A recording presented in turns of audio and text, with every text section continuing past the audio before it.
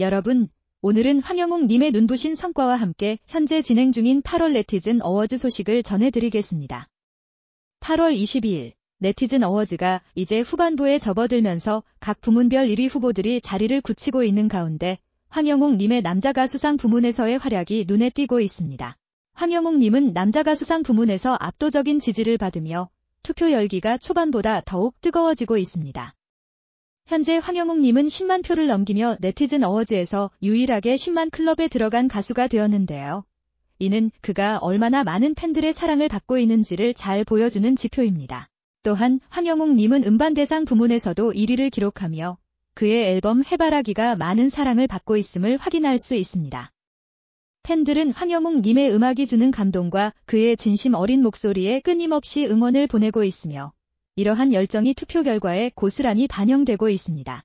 특히 황영웅님은 넷그랑프리, 광중왕전, 와 CF 모델상 부문에서도 1위를 달리고 있어 그가 여러 부문에서 독보적인 인기를 자랑하고 있음을 알 수 있습니다. 팬들의 뜨거운 사랑과 응원이 그를 더욱 빛나게 하고 있으며 그의 음악과 존재가 얼마나 큰 힘을 주고 있는지 느껴집니다. 황영웅님은 팬들의 사랑을 깊이 이해하고 그에 보답하기 위해 언제나 최선을 다하는 아티스트입니다. 그의 진정성 있는 소통과 따뜻한 마음이 팬들에게 큰 위로와 기쁨을 선사하며 그의 인기는 더욱 높아지고 있습니다. 앞으로도 황영웅 님의 빛나는 활약을 기대하며 우리 모두 함께 응원해 봅시다.